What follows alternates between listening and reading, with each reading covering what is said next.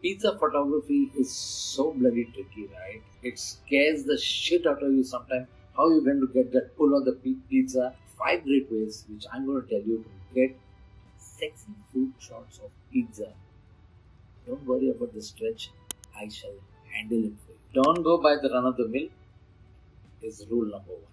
Do different shots. Don't exactly just always gun for the stretch. Pizza could be in the kitchen. Pizza could be just jumping out of the oven. Pizza could be in the making. Pizza could be stretched like we always see it. Slices of pizza right in front of your faces. Rule number two pizza is a fresh product.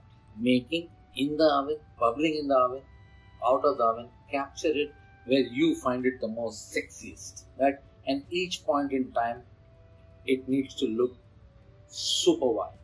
I think so. Time has come to shoot the real pizza, and that's number third to get the bubbles in, get the messy sauce out, get an uneven base, somewhere blown up, little burnt somewhere, some charred vegetables, lots of color. Throw the basil leaves on top, throw arugula, put some grated parmesan on top, show a dribble of olive oil. These are the things which have not been done. Choose that unique environment, choose that freshness, get the real big size tomatoes. Really work hard on your ingredients to be lying on that table.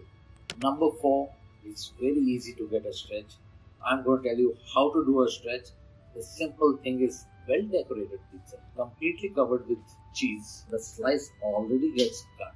When you cut it, there is a board exactly at the size of the pizza right under it.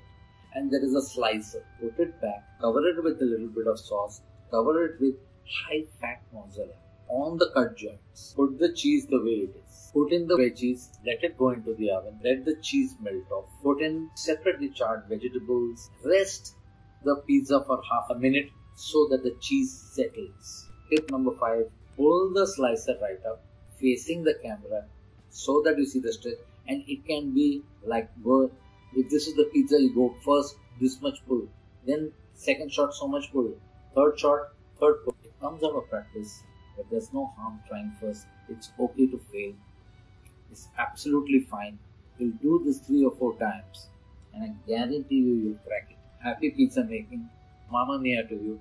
Require anything, we are right here to tell you more about pizza in my next episode. Bingo.